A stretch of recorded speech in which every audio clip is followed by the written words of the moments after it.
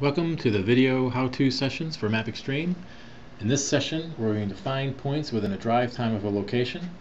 We'll be using a desktop app and looking at the map tools collection and we'll be creating our custom tool. We'll be using a routing service from Envinsa.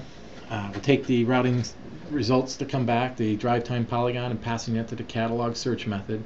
And we're going to, from that, we're going to create a result set feature collection. And that result set feature collection will hold the results of that, and we're going to map that uh, results, put points on the screen. So let's get started. First thing we're going to do is create a new project, and we're going to create a MapXtreme application. That MapXtreme application, we're going to first thing we're going to do is create a little real estate on the screen so we can see what we're doing. This is a default template that creates a MapXtreme application. What we want to do is, uh, since we'll be using the tools and using events, what we want to do is give ourselves a little real estate so we can see what's happening, just to fire off a few events, uh, give us some feedback. To do that, I'm just going to add a uh, rich text box onto the screen, and that'll just be a place where we can output some uh, information that comes from the tool event that we're going to fire off.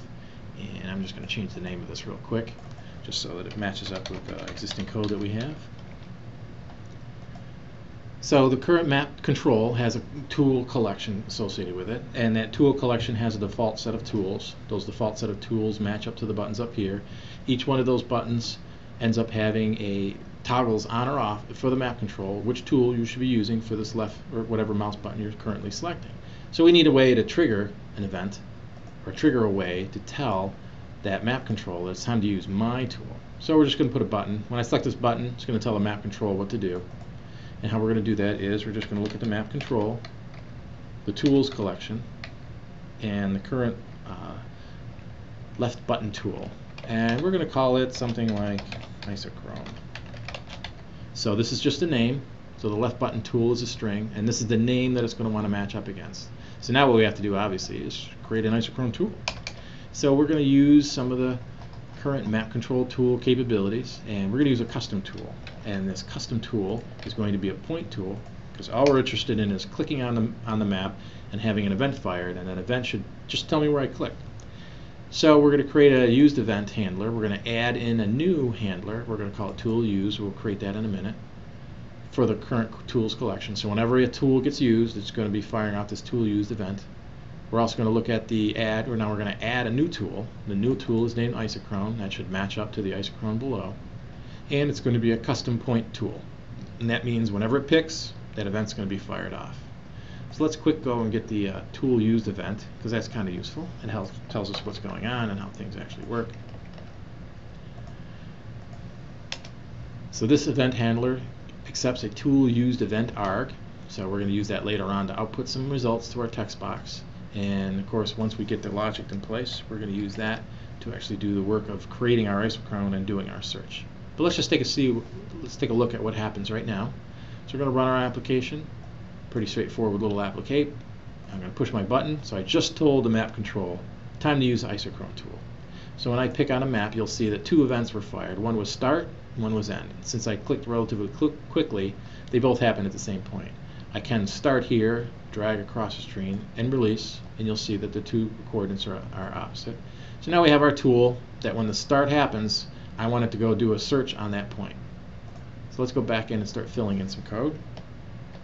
So I'm going to uncomment this code now. So when the tool name comes through, and the tool's name is equal to isochrone, and the map's tool status is equal to start, remember we want that first click, I'm going to create my select points method and the select point methods accepts a point argument and that point argument is going to be literally just where I clicked on the map and that's going to be associated with the current display coordinate system and the map coordinates that were actually picked on the screen. So next thing we need obviously is our select points method. Our select point method is going to be the work that we do in order to make a connection to Envinsa, get some results, package up a request, and process those results. So this is pretty straightforward. Here's our select point method. This is the from point. This is where I clicked on the screen. Obviously we need a, a URL somewhere to an Envinsa instance. We're going to create a route client. It's the interface. And from that we're going to look into the map info routing route client factory and we're going to tell it to give us one of the um, routing clients that it knows about. Currently it knows about Envinsa and routing JServer, but we're going to look at an Envinsa service instance at this point. You'll see here too that it doesn't quite know about these.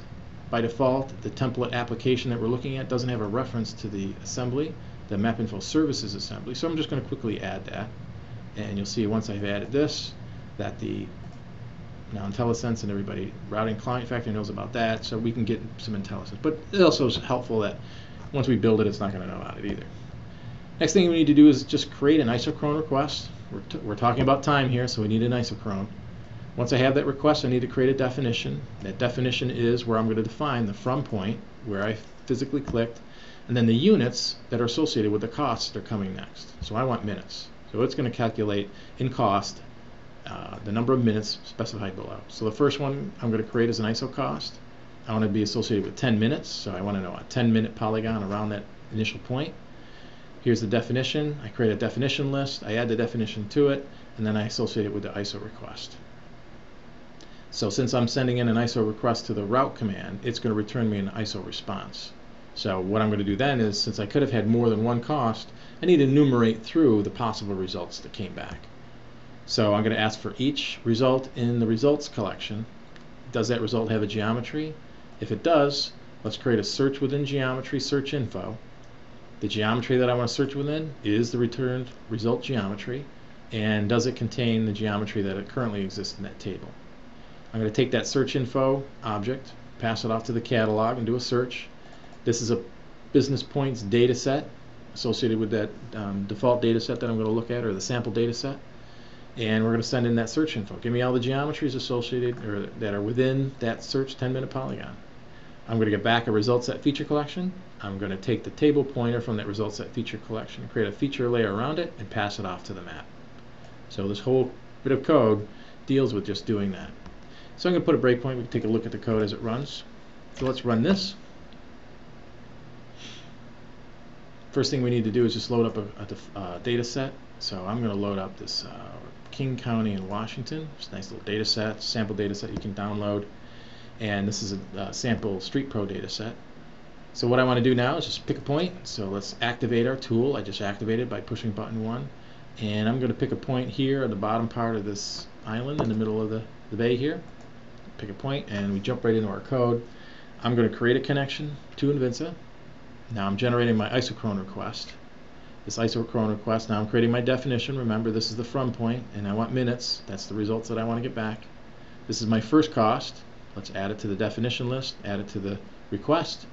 Now I send off, here is it work's actually done. I'm going to package up this request, send it off to Envinsa. It's going to figure out the polygon, package up that, send it back to me. We translate it back into a MapXtreme object and we're ready to go. Now I'm going to say for each one of the results in that result set, does it have a geometry? Yep. And this result geometry is a MapInfo geometry. It's a multi-polygon. So now I can create a search within geometry using the MapInfo API. I can get my result set feature collection once I do the catalog search of this table, King County Retail, which is part of that data set I loaded. Now I can take that table pointer associated with that result set feature collection, just add it to the map, and off we go. And you'll see here, remember we clicked here? This is all the business points that I can reach within a 10 minute drive of the point that I selected right here. Obviously you can pick anywhere else, do the same thing, but basically it's the same idea. We used a custom tool just to pick a point on the map. The rest of it is just business logic. We could associate this with a desktop app or that same business logic associated with a web application as well. I want to thank you for joining us today. I hope you found the session helpful. I hope you join us again for more MapXtreme video how-to sessions.